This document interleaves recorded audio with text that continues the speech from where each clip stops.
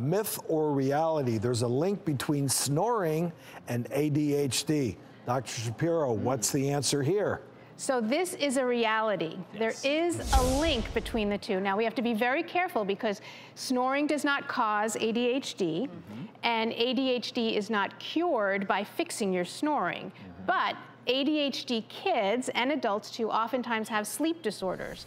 So if you're being evaluated for ADHD, you want to really include with that evaluation a child or an adult, whether or not they have a sleep issue as well. And so if someone has or a child has a sleep issue, is that going to then maybe even sometimes mimic the symptoms of ADHD because they have poor focus and they just kind of aren't functioning as well as they would otherwise? Absolutely. So a child who comes in with focus yep. issues, you don't want to necessarily just put them on a medication. Perhaps you mm-hmm. want to have them evaluated for their sleep. And if the sleep issue is addressed and treated, oftentimes their supposed ADHD will be cured, even though it wasn't ADHD well, and that's in the first right. place. And yeah. you deal with this every day as every a pediatric day. head neck uh, ENT surgeon. The whole issue of airway is is uh, Junior getting enough sleep exactly. or not?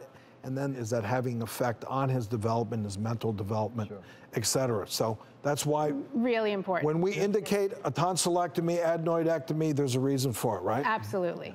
Yes. And do you think it happens more frequently than people would think, where people, kids are diagnosed with ADHD, but they really just need help with their sleep patterns? Absolutely. So yeah. kids okay. who have, they're what we call tired and wired. Okay. So they're running mm -hmm. around the room and they don't have the mm -hmm. typical symptoms of an adult who has a sleep problem. They're not exhausted, falling asleep at the car.